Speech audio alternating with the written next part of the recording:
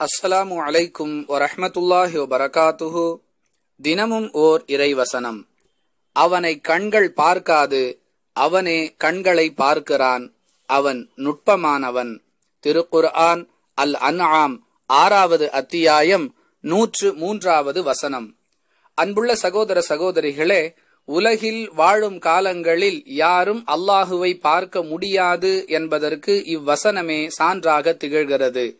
மாறாக அனைவரையும் பார்க்கக்கூடிய ஆற்றலுடையவனாக அல்லாஹ் விளங்குகிறான் என்ற கருத்தும் இவ்வசனத்திலிருந்து விளங்குகின்றது.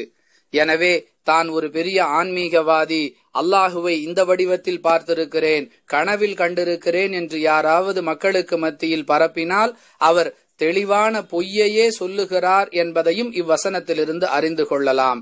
எனவே அல்லாஹுவை பார்க்க முடியும் ஆனால் மறுமையில்தான் பார்க்க முடியும். உலகில் பார்க்க முடியாது என்பதுதான் இஸ்லாமிய நிலைப்பாடு.